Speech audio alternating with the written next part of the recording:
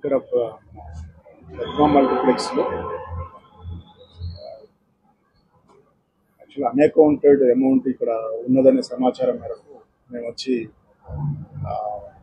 మేము వచ్చి చెక్ చేయడం జరిగింది. దాంట్లో ఆల్మోస్ట్ ఆల్ ఆరు కోట్ల అరవై ఐదు లక్షల రూపాయలు మేము అన్అకౌంటెడ్ మనీ సీజ్ చేయడం జరిగింది.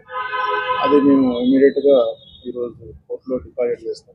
వాళ్ళు ఎలా వచ్చింది ఏందనేది అకౌంట్ చేసి వాళ్ళు కోర్టు ద్వారా దాన్ని రిలీజ్ చేసే అవకాశం ఉంటుంది. దాన్ని ఏ రకంగా వచ్చింది ఏందనేది విచారణ జరుగుతుంది.